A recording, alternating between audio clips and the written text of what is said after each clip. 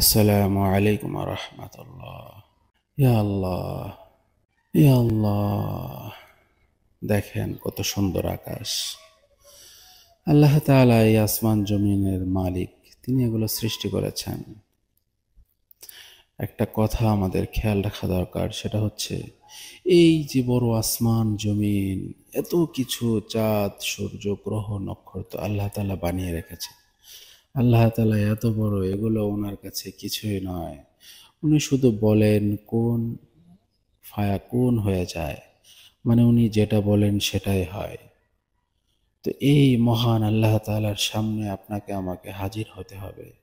যদি আমি আল্লাহ তালাকে চিনি, তাহলে আমার ভিতরে ভয় আসবে যে এত বড় আল্লাহ আকবর। ওনার সামনে আমাকে দাঁড়াতে হবে একদিন।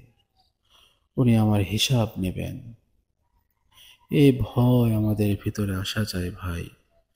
এই ভয় যদি আমার ভিতরে আপনার ভিতরে না আসে তাহলে গোনাহ থেকে তো বাঁচা সম্ভব হবে না। আল্লাহ তালা আমাদেরকে